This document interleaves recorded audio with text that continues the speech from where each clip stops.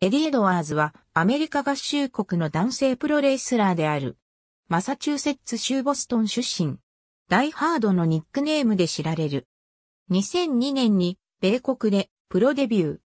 プロレスリング ZERO1に海外選手として参戦を経て、2005年5月にノアの練習生となる。9月にノアマットで再デビューした。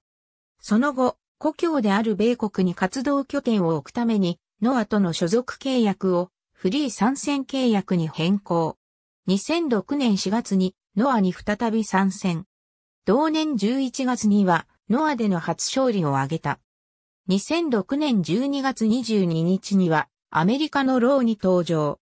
2007年にはテッド・デビアス・ジュニアとのタッグでノアのグローバルハードコアクラウン無差別級選手権に挑戦した。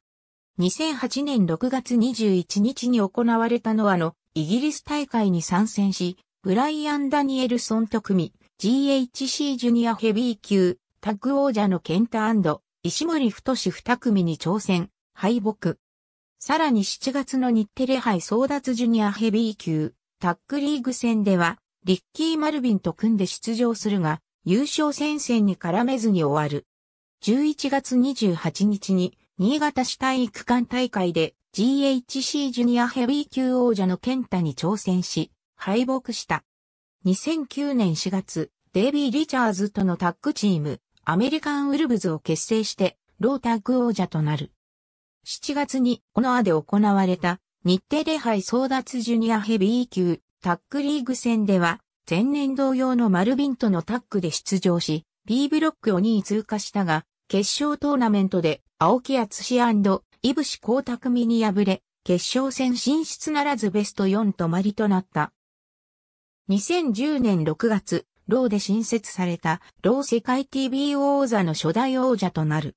同年10月、ノアの第4回日テレ杯争奪ジュニアヘビー級タッグリーグ戦に新しいパートナーロデリック・ストロングとタッグを組んで出場。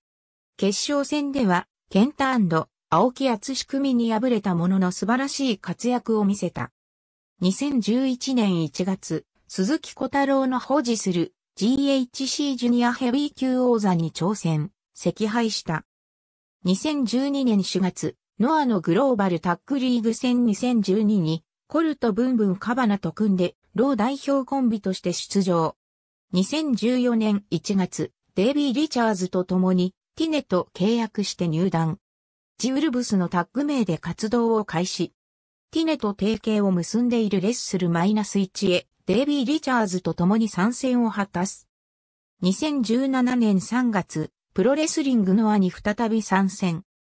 8月26日に、後楽園ホールで行われた GHC ヘビー級選手権試合では、三沢光春のタイガードライバー、小橋健太の逆水平チョップ、田上明のダイナミックボム、秋山仁のブルーサンダー、鉄作後へのダイブ、エプロンでのデンジャラスなスープレックスなど、イニシエのノアを彷彿させる試合運びであり、最終的に4のアザ式、エメラルドフロージョンで勝利。記録は25分41秒に、片エビ固め。29代王者となる。生きていれば、おそらく外国人初の GHC ヘビー級王者になってたであろうかけがえのない先輩であるバイソン・スミスの分まで戦い、その上で収めた勝利であった。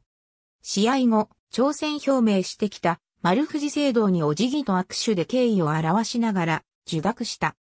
アキレスロックシングル、ボストンクラブダイビングフットスタンプインパクト世界タッグ王座に CW タッグ王座。ありがとうございます。